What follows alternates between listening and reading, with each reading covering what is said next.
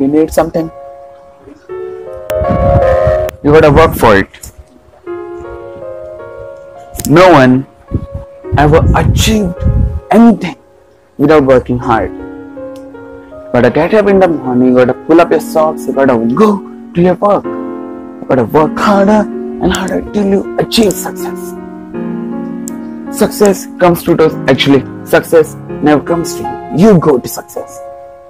Success is like those kilometers which you reach or which you bypass on your travel adventure. You move your vehicle, you move towards your destination. Destination never comes to you. If you wanna become successful, you gotta be hardworking, fully. Gotta give your hundred percent, I mean, one thousand percent everywhere. You're practicing one thousand percent. You are performing one thousand percent. You are proving yourself one thousand percent. Dude, there is nothing like which you cannot achieve. Just work hard. Or maybe working hard is not a solution. You gotta work smarter.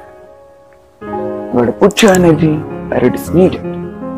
You don't do the work which you hate. You gotta do things which you love that's the corner of the life where you're gonna achieve success.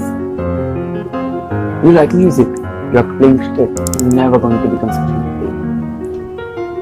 You are an actor, but you are directing, you're never going to become Imtiaz